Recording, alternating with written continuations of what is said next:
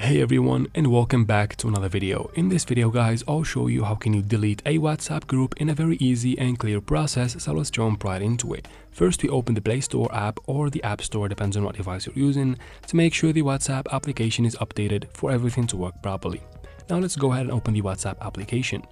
Of course you have to be logged into your account. Let's open the group that we want to delete. Now here we are in the group conversation. The first step to do from here is to tap on the group name that should be at the top of the screen right here.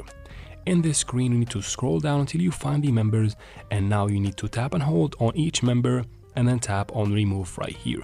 So basically you need to remove every single member that you have in this group before you go ahead and delete it.